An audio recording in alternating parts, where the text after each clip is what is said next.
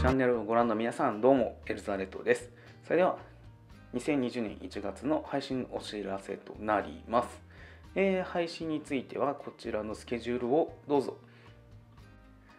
ケジュールとしてはこのようになります1月1日から10日までは不定期としてまして、まあ、ライブ配信であったり投稿はランダムとさせていただきます。えー、その他に関しましては、まあ、土曜日、えー、月曜、水曜、金曜という形で配信はしていきたいと思いますので、えー、従来通りとなっていきます。ただ、いろいろと変更点も多くありますので、えその説明も次していきたいなと思います。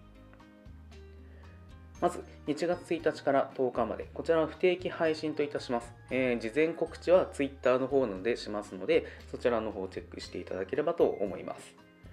続いて、スプラの配信については、リグマガチマを配信していく予定です。えー、いつも縄張りとか、えー、撮影したガチマを流してたんですけど、まあ、リアルタイムで、えー、リグマであったりガチマの方を、えー、投稿していくというか、ライブ配信をしていくっていうのもちょっと今年はやっていこうかなと思っております。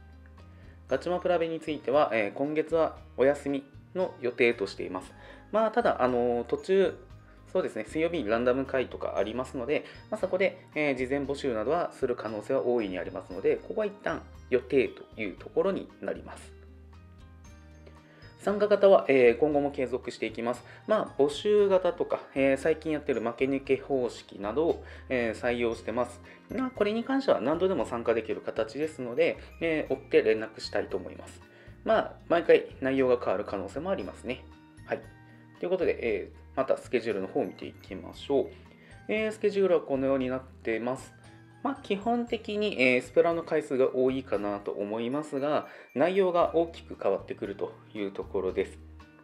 まあ、ランダム会のところでも新しいゲームなどしてますので、そちらの方もぜひ楽しみにしておいてください。